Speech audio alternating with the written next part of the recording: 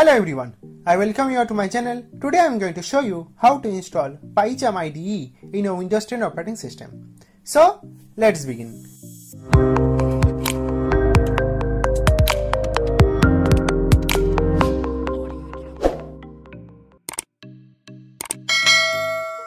Now before installing PyCharm IDE, let us first understand what this PyCharm IDE is. Now PyCharm IDE is basically an IDE where you know you can do this Python related project and you can you know make your coding a very much user friendly. So that's basically what this PyCharm IDE is. Now to install PyCharm IDE, you need to first download PyCharm IDE. So for that, just simply go to your favorite browser and uh, one more thing uh, this is basically our website GeekyScript here you will be getting many tutorials along with some blogs that I have written so that's basically what about our website. You can uh, check our website www.geekyscript.com now to install PyCharm IDE you need to first search PyCharm download for Windows. Now we'll be seeing the search result www.jetbrains.com. So just you know simply click on this download PyCharm. And now just simply cancel these cookies and now here you'll be seeing that there's basically two options where one is this uh, professional one and another is this community one. So there's basically two version of PyCharm IDE now if you want to you know download this uh, professionals one then then you just simply click on this download. You can also use a free trial for 30 days. But here in this video I am going to download this community one if you are using some other operating system let's say Mac OS then you just simply click on that Mac OS and you can download as for you know your uh, operating system. Similarly if you are a Linux user then you can just simply click on this Linux tab and you'll be you know going to download as for your Linux uh, operating system. But here in this video we are going to download for Windows. So you know I'll be go back to Windows and then I'm going to download this community edition. So just you know simply click on this download and now you'll be seeing that thank you for downloading PyCharm and it will you know start downloading. Now I have already downloaded it so I just you know simply cancel this. And I will be you know going to our uh, download directory.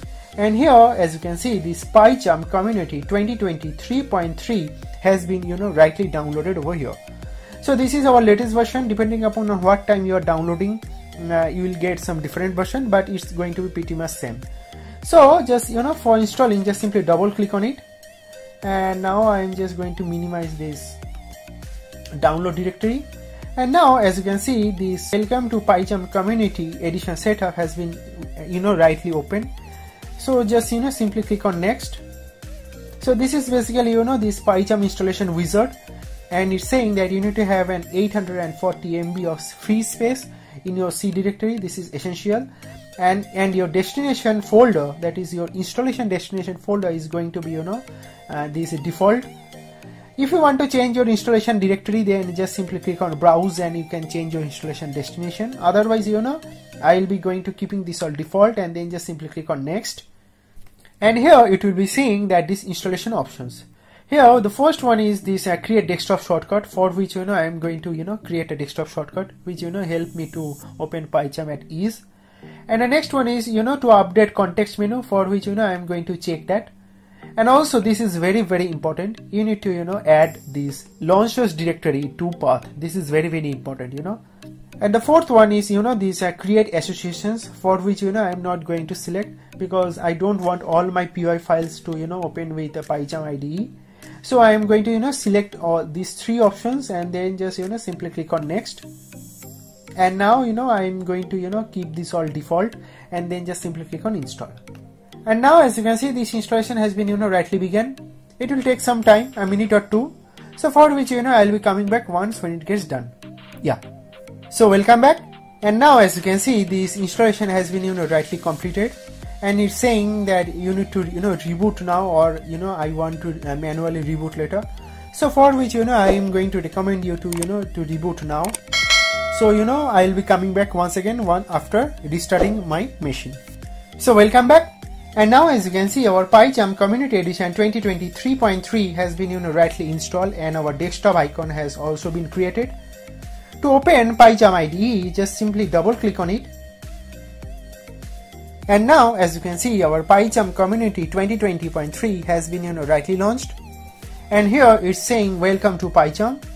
So here what I'll be doing is you know I'll be creating a new project. So for that just simply click on new project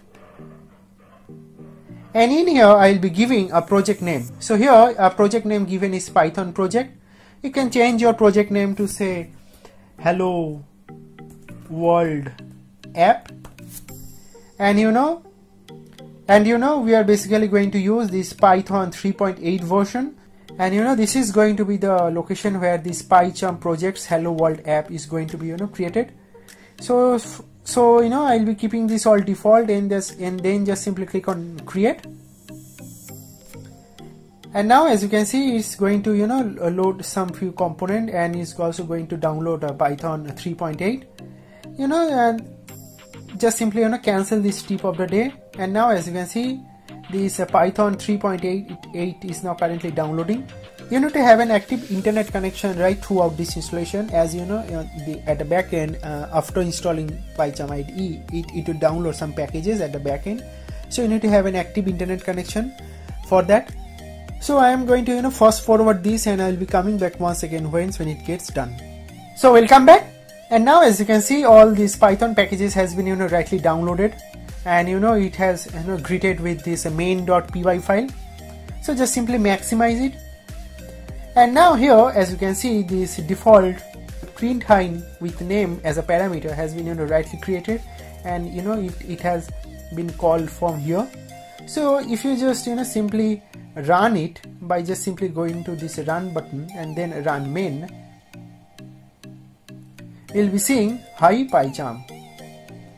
Here, if you just you know change this PyCharm to uh, suppose say geeky script and then just you know simply go to again run button and then run you'll be seeing hi geeky script. Now if you want to create a separate project then you can just go to this file and then click uh, click on new project. And then the same procedure uh, and then same procedure as I have done earlier while creating this hello world app so you need to just give a new project name and then uh, simply uh, uh, go to this create icon. Then just simply click on this create icon and then uh, creating a new project. A new window will be open up.